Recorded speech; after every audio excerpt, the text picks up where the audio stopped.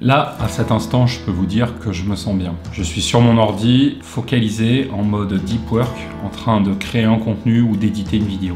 Clairement, voilà à quoi ressemble la plus grande partie de mes journées. C'est sûr, c'est pas un moment de joie hyper intense comme un saut en parachute, mais je peux vous dire qu'à cet instant, je suis heureux et en plus de ça, j'ai la chance de faire ça depuis des années. Pourtant, tout n'est pas rose. Devenir infopreneur n'est pas comme avoir une baguette magique qui va résoudre tous les problèmes de votre vie. Il y a même de sacrés inconvénients à ce travail. Alors, je sais que je devrais faire comme les autres, faire le winner, vous montrer des montres de luxe, des voitures, des villas, vous faire rêver avec un rythme de travail hyper allégé, des voyages.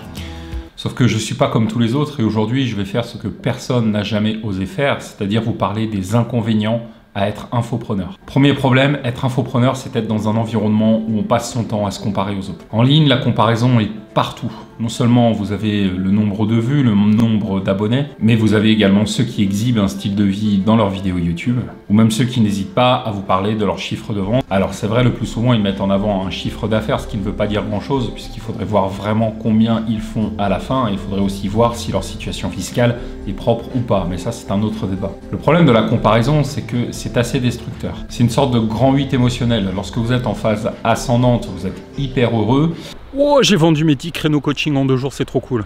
Mais lorsque vous vous rendez compte que d'autres vont beaucoup plus vite que vous, ou si vos chiffres baissent, alors là, c'est vraiment la descente émotionnelle et ça peut être terrible.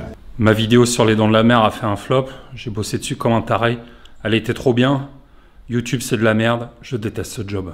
Alors laissez-moi vous raconter une petite histoire. J'ai compris beaucoup de choses sur la comparaison le jour où j'ai passé une semaine sur un yacht. J'ai un ami très proche qui est richissime, qui a une entreprise de plus de 700 salariés et qui aime beaucoup faire du bateau. Il possède donc un bateau de 24 mètres qui est amarré à Golfe-Juan. Chaque année, il fait euh, le tour de la Corse ou des Baléares avec son bateau et euh, l'engin est tellement gros qu'il est obligé de payer à plein temps un marin qui s'occupe de l'entretien pendant l'hiver et qui l'assiste pendant les manœuvres l'été ou alors qui prépare la popote. Mon ami a un patrimoine de 40 millions d'euros, on est largement au-dessus de ce que peut faire le plus gros des blogueurs, youtubeurs français. Pourtant, un soir, en sortant à deux du bateau et en se baladant le long du quai, on arrive sur le quai des milliardaires et là on voit les yachts des princes du pétrole, des fortunes de la high-tech, des bateaux qui font 50, 60, 100 mètres. Et là mon pote me regarde et il me dit Putain, ça dégoûte.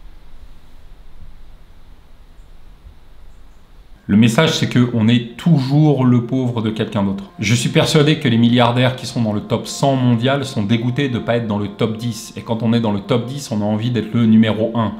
Et je suis même persuadé que le milliardaire numéro 1 n'a qu'une seule hantise, c'est de redescendre dans le classement. On voit bien tous les effets pervers de la comparaison. C'est nier ce que vous êtes, c'est nier vos progrès. La question, c'est pas combien est-ce que vous faites ou combien est-ce que vous avez d'abonnés à votre newsletter. La question, c'est est-ce que vous avez des gens qui apprécient vos contenus Est-ce que vous êtes vraiment capable de les aider? Si vous vous posez ce genre de questions, vous limitez fortement l'impact négatif de la comparaison et vous vous sentirez vraiment mieux. Et en tout cas, ce qu'il faut surtout pas faire, c'est juger la qualité de son travail par rapport au nombre d'abonnés que peut avoir un de vos concurrents. En effet, n'oubliez pas par exemple que sur YouTube, il suffit de se mettre une plume dans les fesses, d'allumer deux feux d'artifice et de faire la danse de la pluie pour réussir à faire 500 000 vues. Allez, en route vers les 500 000 vues.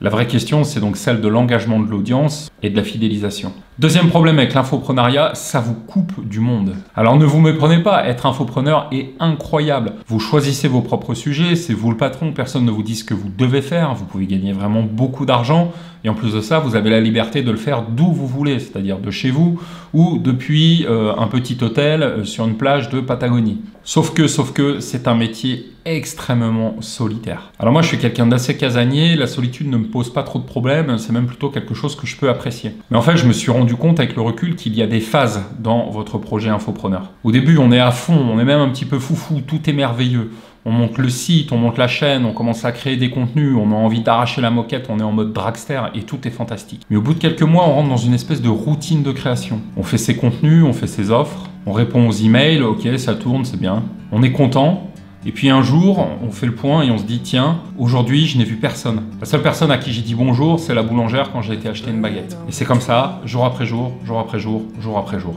et ça peut devenir carrément pesant. Donc la solution pour moi quand j'étais à Lyon, ça a été de m'investir dans un club de sport et de pratiquer le jujitsu. Et c'est pas un hasard si j'allais à trois entraînements par semaine pendant toute cette période. C'était simplement parce que j'avais aussi besoin de me défouler et de voir des gens.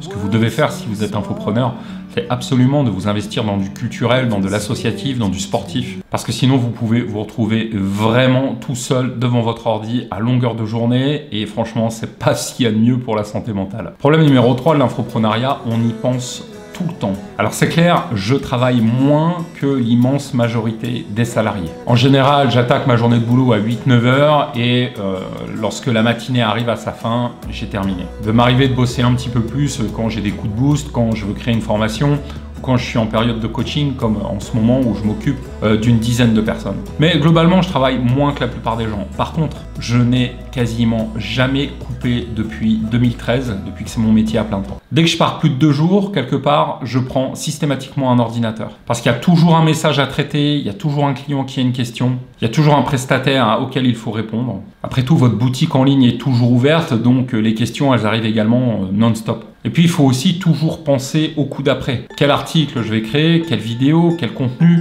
est-ce qu'il faut que je fasse évoluer mes formats? Quel va être le sujet qui va plaire à mon audience, comment réussir à les garder intéressés. Donc la charge mentale liée au business infopreneur, c'est 24-24, 7 jours sur 7. J'y pense à la plage, j'y pense sous la douche, j'y pense quand je me lève, j'y pense quand je prends mon petit déj. Et ça, c'est une vraie différence parce que quand j'étais salarié, j'attendais mes trois semaines de coupure au mois d'août, comme tout le monde.